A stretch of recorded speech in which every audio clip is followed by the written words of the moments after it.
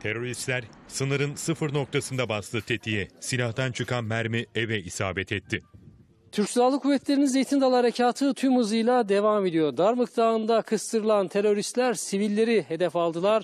Atılan kurşunlardan biri Bixi makinalı tüfek mermisi sınırdaki bir Türk köyünde işte gördüğünüz gibi evin camına isabet etti.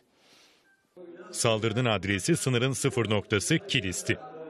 Darmık Dağı'nda yuvalanan teröristler sivilleri hedef aldı.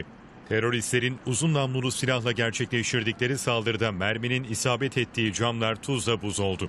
Terör örgütü PKK, PYD üyeleri yaklaşık 700 metre ilerideki araziden ateşledikleri Bixi makinalı tüfek mermisi önce pencere camını deldi, daha sonra kapıya çarparak yere düştü. İşte bu görüntü terör örgütüne yapılan Zeytin Dalı Harekatı'nın ne kadar önemli olduğunu bir kez daha gözler önüne serdi.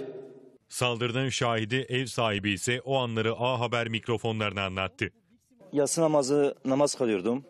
Namazın dışarıdan bu bizim gördüğünüz gibi şu anda görünmüyor ama bu Bek Ovası'ndan çok şiddetli bir ses geldi. Sense de pencere açar açmaz zaten yani yüzümüze toprak yani çok yere değdi. Şu anda benim gördüğüm burası yani bizim eve değdi, mutfağa değdi. Mutfağdan hatta içeriden kapıdan değdi, kapıdan e, f- e, seramikleri falan değdi o şekilde de. Evde bulunanlar teröristlerin saldırısından kıl payı kurtuldu. Yan tarafta oturuyorduk. Şans eseri burada değildik. Hani Allah korusun eğer ki burada olsaydık dört tane küçük çocuğum var. Allah korusun birine değseydi. Bilmiyorum. Allah bunların belasını versin artık. Ne diyeceğimizi şaşırdık.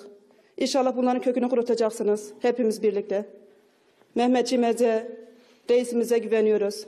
Saldırının bir numaralı tanıkları ise bölgenin teröristlerden temizlenmesini istiyor. Zeytin Dalı Harekatı'na destek veriyor. Korkmuyoruz. Memleketimizdeyiz. Devletin, milletimizin arkasındayız. Daha önce sadece bu taciz değil. Daha önceden çok taciz de geldi. O yüzden yani bizim Cumhurbaşkanı'nın böyle bir girişimde bulunması, böyle bir Arfin operasyonu yapması gurur bizi için çok e, gurur verici bir şeydir. Bölgede kırmızı alarmda olan güvenlik güçleri ise operasyonlarını sürdürüyor.